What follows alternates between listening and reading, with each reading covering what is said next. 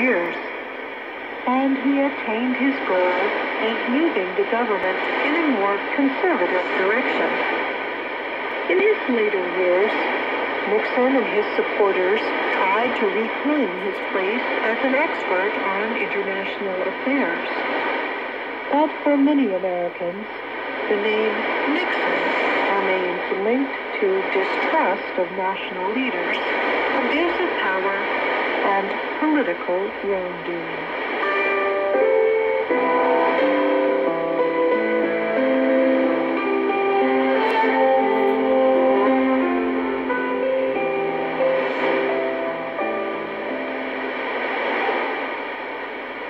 Richard Nixon had a difficult early life. He was the second of five sons in a Quaker family. His parents owned a lemon ranch in California, near the city of Los Angeles. But the family struggled financially. And two of Richard's brothers died. One as a small child, and one as a young adult. In time, his parents' business failed, and the Nixons moved to a nearby town. The parents and children all worked at a filling station that sold fuel and other products. Despite the many hours he worked at the store, Richard was a top student in high school. He was offered financial aid to attend Harvard University, but the family needed even more money to send him there.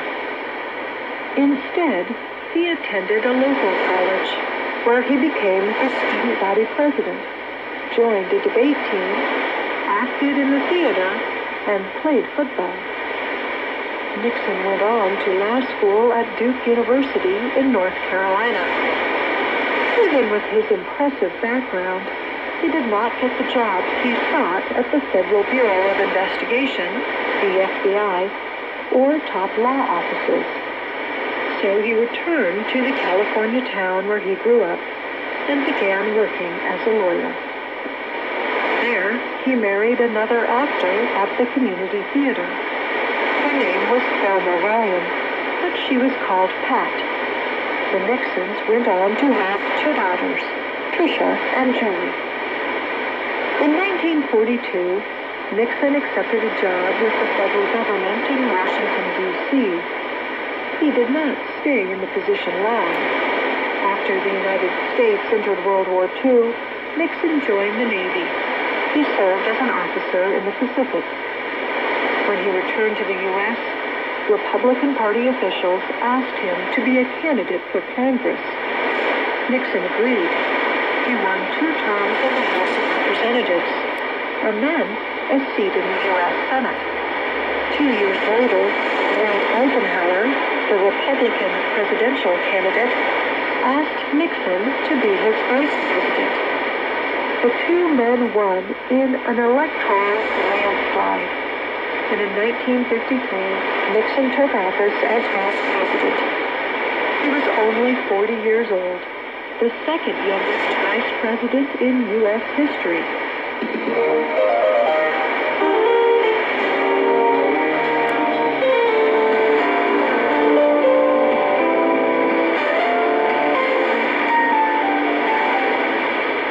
Nixon's early political career is remembered for several reasons.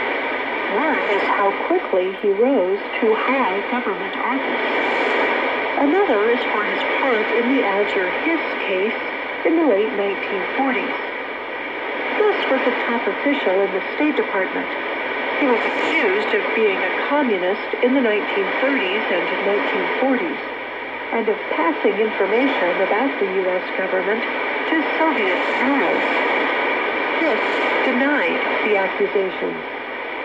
The case was big news in the United States. It showed the clash between people who believed Hiss was falsely accused as a way to discredit liberal policies, and people who believed the government was protecting communist sympathizers. Nixon was in the second group. He was part of the investigation against Hiss and pushed for his indictment. Nixon's efforts succeeded, and Hiss went to jail for almost four years. Later, Nixon said that the case was one of the reasons for his rise to power. Nixon also earned national attention with an event that has become known as the Checkers Speech. It happened in 1952 when Nixon was running for vice president. Ten reporters accused Nixon of corruption. They he was accepting money and gifts from wealthy donors in exchange for his political support. Nixon went on television to deny the claims personally. At the time, Americans were not used to seeing politicians speaking directly to the public. Yet Nixon spoke informally and emotionally from what appeared to be a home.